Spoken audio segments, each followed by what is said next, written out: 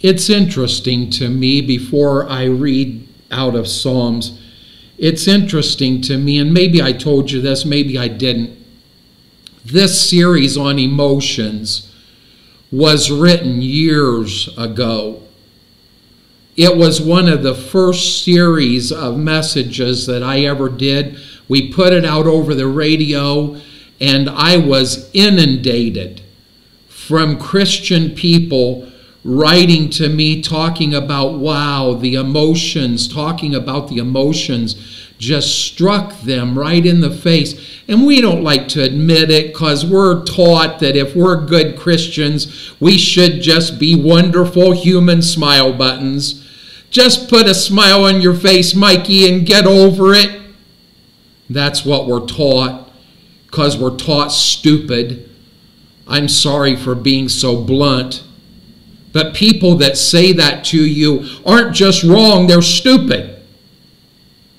And, and I, you, know, people, I found, uh, and I need to get to reading, but I was going through some old, old materials and I found a letter to the editor that had been written about me.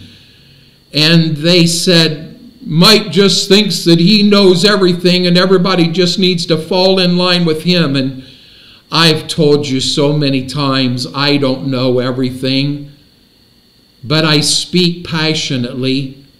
I speak the truth to the best of my ability. And I'm not trying to come across as I know everything, but what I do know is that good, wonderful, awesome Christian people struggle with these things. Let's look at the writer in Psalms. Psalms 102 it, the, the title of it, A Prayer of the Afflicted, when he is overwhelmed and poureth out his complaint before the Lord. Hear my prayer, O Lord, and let my cry come unto thee. Hide not thy face from me in the day when I am in trouble. Incline thine ear unto me in the day when I call, answer me speedily. For my days are consumed like smoke, and my bones are burned as an hearth. My heart is smitten and withered like grass, so that I forget to eat my bread. By reason of the voice of my groaning, my bones cleave to my skin. I am like a pelican of the wilderness. I am like an owl of the desert. I watch and am as a sparrow alone upon the housetop, a sparrow alone upon the housetop. Mine enemies reproach me all the day, and they that are mad against me are sworn against me. For I have eaten ashes like bread, and mingled my drink with weeping.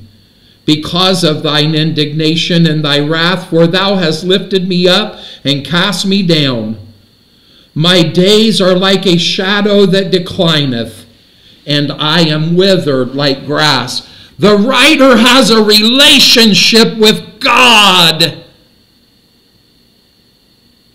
And he's alone like a sparrow on the rooftop. And he's saying to God, You lift me up, and then you cast me down. Does God really do that? I will tell you this there's days that it feels like it. There's days that it feels like you're in the middle of the battle all by yourself.